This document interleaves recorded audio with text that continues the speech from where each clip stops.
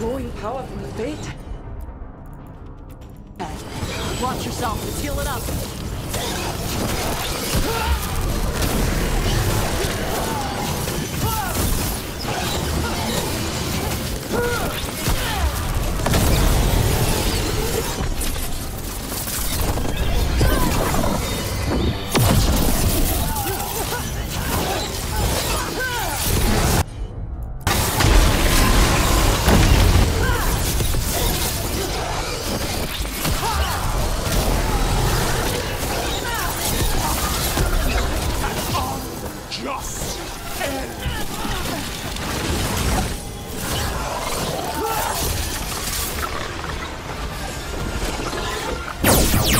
Thank you.